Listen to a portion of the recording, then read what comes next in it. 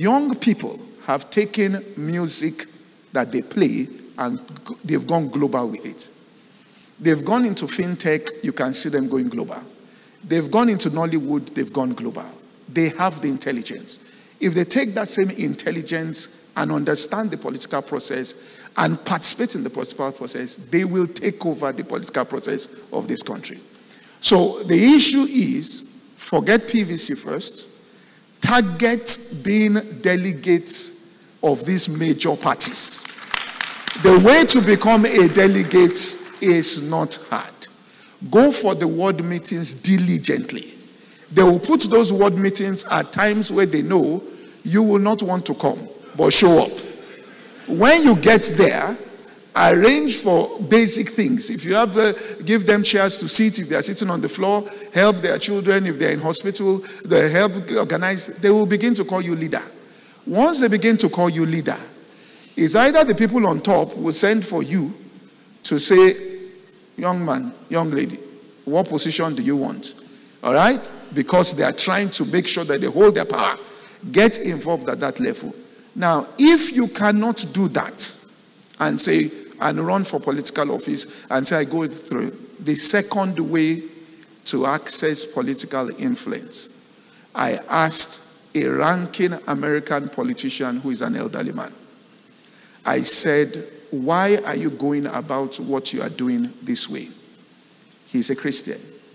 Now, I don't agree personally with the way the church went about um, pushing uh, President Trump, and I don't agree with that. I felt they, they stepped overboard. But as a principle, I'm talking about a principle now, he said, We got President Carter elected, he did not respond to us. He said, We rallied around President George Bush, we got him elected. He said he did not respond to us. He said, Then we discovered something about power. Whether you get the person on top or not is not what counts. It is who that person talks to last before he goes to sleep, and who, when he wakes up, he talks to. So we strategically now said we will go and put our people in those offices.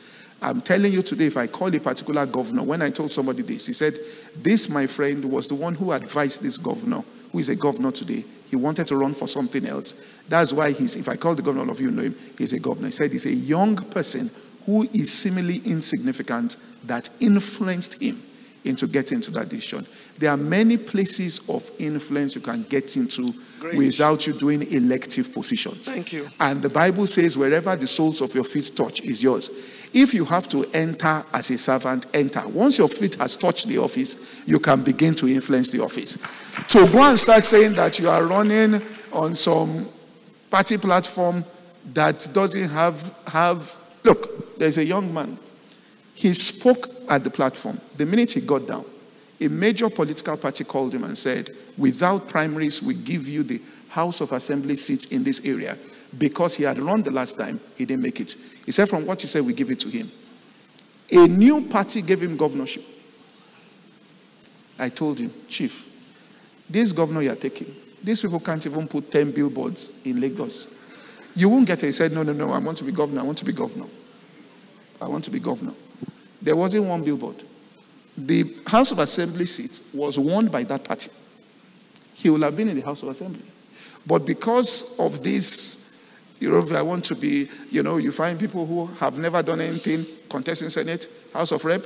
I can start a party tomorrow and call it Academic Green Party, and then I'm the gubernatorial candidate, right? But if you looked at the last election, there were 76 parties there were almost 74 presidential candidates, but only 2%. Two, if you removed APC and PDP for House of Rep and Senate, they only fielded less than 2% of the candidates. How do you want to run presidency without House of Rep, without Senate, without governor, without it means that it's what you are just saying is it's not realistic. So let's study the political system. Let's understand what democracy is. Let's know where, how to enter into power. Let's understand it. It is not difficult, but you need to understand it. If you are waiting for May 29, which is why young people won't go and vote, because the reason is the candidates don't stimulate them. They make the voting process cumbersome. You must be ready to stand in the sun. You must be ready. And once they see that kind of determination, then they understand that they'll be change. This change is not far. I repeat, this change is not difficult. It is not far. But the system has to be understood, and the people must be able to enter into that system at the place at which they can actually begin to influence things.